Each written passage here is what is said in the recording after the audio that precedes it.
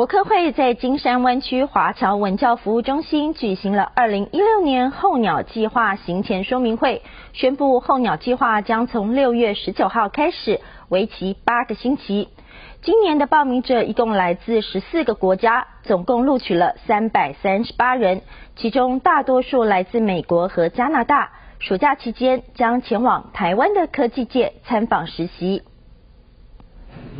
非常受到欢迎的候鸟计划将从六月十九号正式开始进行，一共为期八个星期。国科会在金山湾区华侨文教服务中心举行行前说明会，包括驻旧金山办事处副处长李迎新、科技组组长汪庭安、领务组组长欧德富、兵役组组长曾国森、台贸中心主任李哲清等人都亲自列席。今年总共有来自十四个国家四百七十三人报名，录取三百三十八人，其中大部分是来自美国与加拿大。李迎新表示，台湾企业既有西方科技优势，又有台湾勤奋团结精神，对学员未来发展帮助很大。遴选出来是我们最优秀的这个同同学来参与，所以各位能够坐在这里，我想都是优秀里面的再优秀的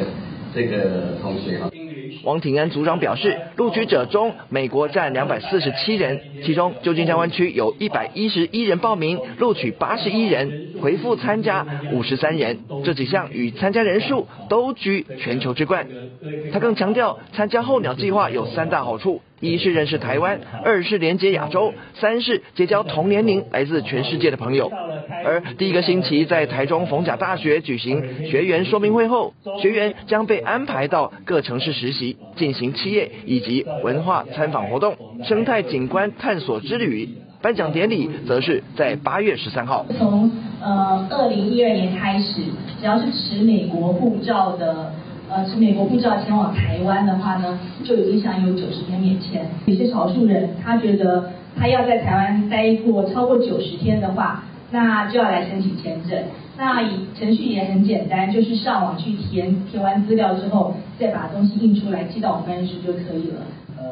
入选台中达新材料公司的伯克莱加大材料专业三年级学生曹瑞安表示，在学校学了很多理论知识，到台湾有了实践的机会，可以做研究。